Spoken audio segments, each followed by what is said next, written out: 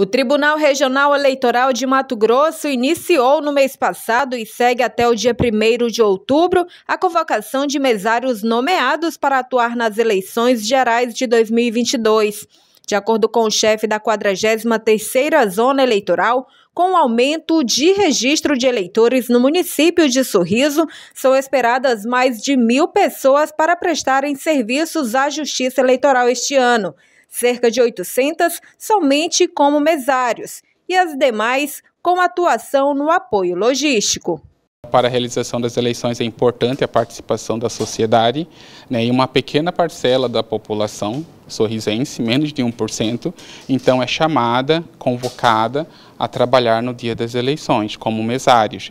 Além dos mesários também, algumas pessoas são chamadas para fazerem a parte do apoio logístico. Então, só aqui em Sorriso nós estamos falando em torno de 1.100 pessoas para atender, é, uh, para atender toda, toda a população que irá votar no dia da eleição. Então é importante que realmente as pessoas compreendam que quando elas recebem a convocação, nós estamos fazendo pelo WhatsApp, né, que elas possam realmente verificar, ler a sua carta uh, e se colocar à disposição se ela tiver condições.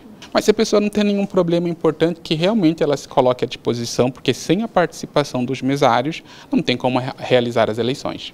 A Justiça Eleitoral disponibilizou um sistema para consulta de mesários. Basta acessar o tre-mt.jus.br,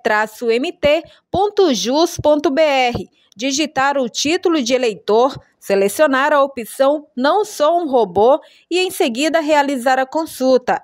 Além de confirmar se foi convocado, o eleitor tem acesso às informações de função e local de atuação. A gente também pede que todos aqueles que realmente têm esse desejo, a partir de 18 anos, muitos jovens acabam nos procurando como 18, mas não tem como serem convocados, tem que ser a partir dos 18. É importante que eles realmente se coloquem à disposição. Eles podem entrar em contato conosco aqui no cartório eleitoral, através do nosso WhatsApp, também através do app do e-título. Tem um campo lá onde a pessoa ela já se coloca como voluntária, além da inscrição também pela internet. O nosso telefone é o 3544-3555, que também é o nosso número de WhatsApp.